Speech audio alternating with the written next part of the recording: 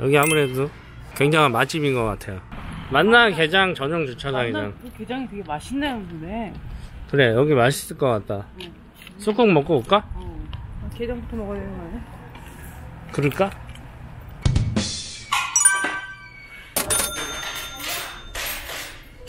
간장부터 먹어봐야지. 양념게장.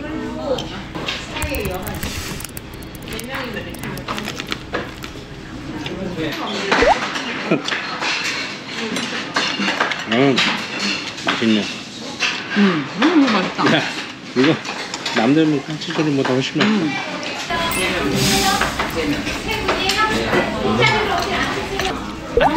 지금 밥이 지금 세 공기째인데. 아, 근데 안 시킬 수가 없네. 아, 인정? 돌려.